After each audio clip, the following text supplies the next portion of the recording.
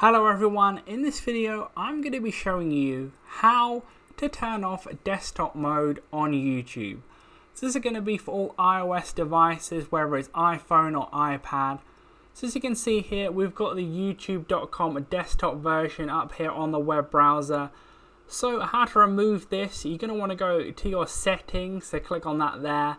Then you're going to want to scroll down uh, until you see the web browser that you're using. So for me, it's going to be Safari click on that in the settings for that and then you're going to want to scroll down until you see request desktop site.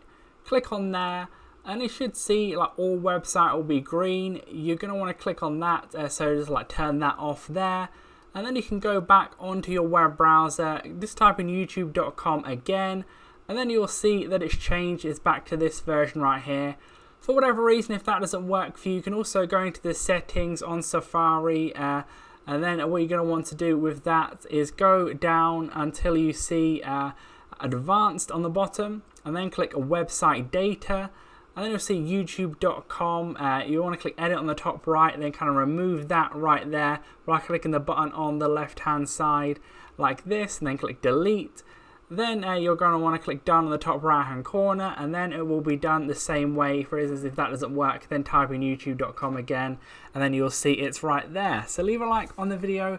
If this did help you out, subscribe for more videos like this. Click on screen to see my how-to videos on the YouTube app and other videos similar. But that's it for now. I'll see you in the next video.